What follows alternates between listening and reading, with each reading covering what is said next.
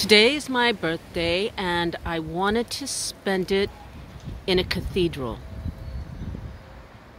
But we're still rather in lockdown.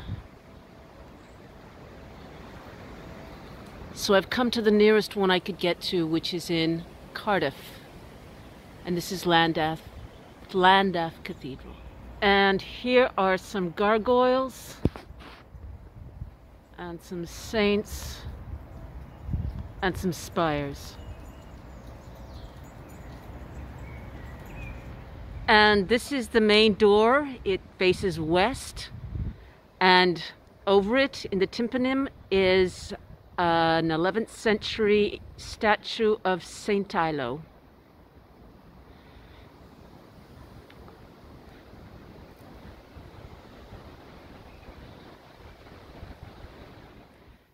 And this is a second century Celtic cross. And it was hidden for centuries and discovered in the 19th century.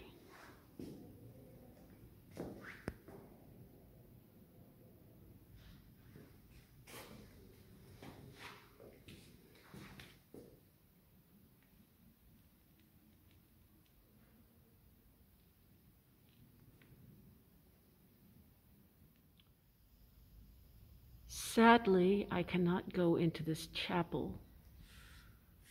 It is closed off because of COVID, and it's where the choir children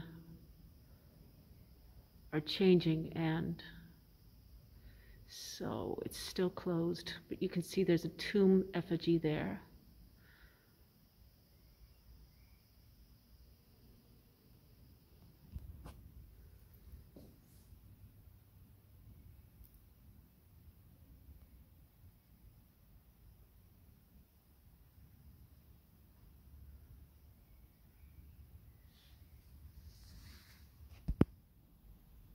Here is another tomb effigy. And you can see there's a lot of damage here. And even some people have carved into the marble. And that was possibly done after the Reformation. It was just straight up vandalism. Or it might have been some other armies through the centuries.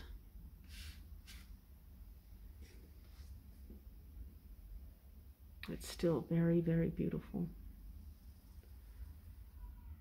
And here are a few more details. Over here, it actually says 1606. So that's when this graffiti, this vandalism dates from. And I wanted to show how beautiful this work is in marble with her rosary beads and these roses. And at her feet, as was often the case, there was a faithful, faithful pup, or uh, this would have been her dog. And in tomb effigies, they often have a dog or a lion lying at their feet.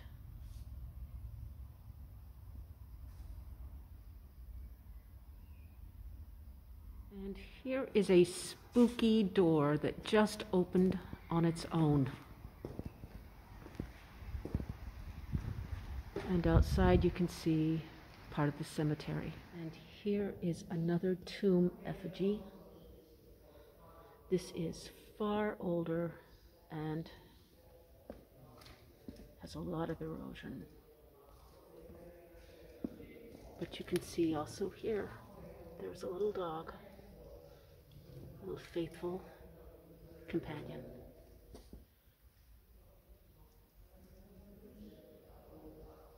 And this archway is Romanesque. It's from about 1022.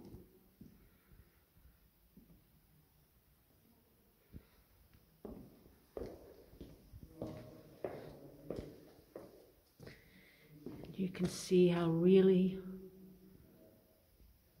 lovely this old stonework is.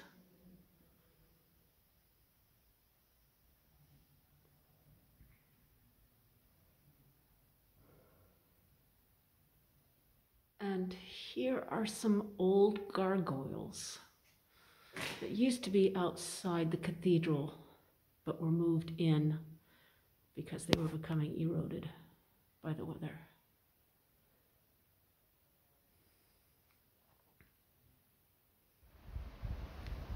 And this is a bit more of the cemetery. I guess it's more of a graveyard. This is a lovely tombstone and it is covered in moss. This is ex-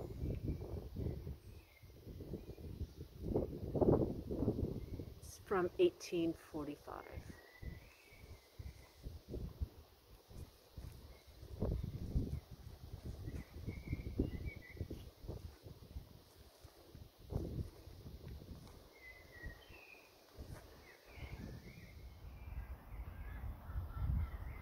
And this is another corner